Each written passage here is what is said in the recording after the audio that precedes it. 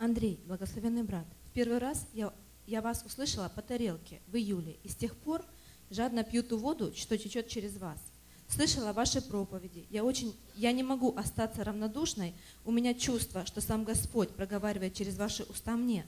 Спасибо, что вы так послушны Господу и без остатка посвятили себя Ему.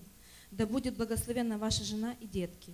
С миром Божьим. Если я могу хоть чем-то помочь, буду рада. Наталья, Россия.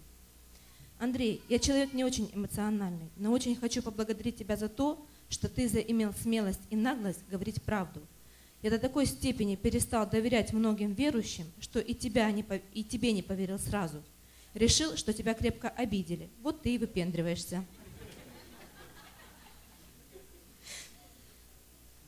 Потом начал качать твои проповеди. Качал.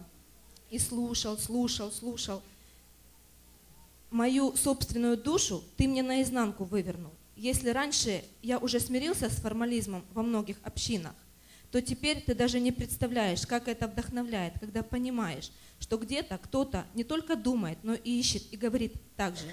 А сколько еще по-настоящему искренних, добрых и любящих Господа людей даже не представляют, что можно не только любить нашего Спасителя, но при этом еще и жить по-настоящему свободным – Спасибо, родной. Не знаю, сможем ли мы встретиться на этой, в этой жизни, но искренне желаю тебе, твоей семье всей твоей команде мощных потоков Божьих благословений. Спасибо. Виктор, Киев.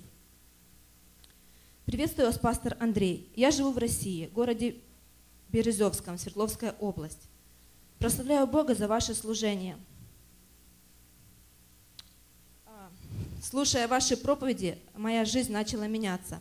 В церкви 13 лет – но такое чувство, что я только родилась в Боге, наверное, так и есть. Просто знайте, что даже на Урале, в таком маленьком городе, засиял лучик света от вашего служения. Пусть Бог благословит ваш, вас. И Елена, Урал.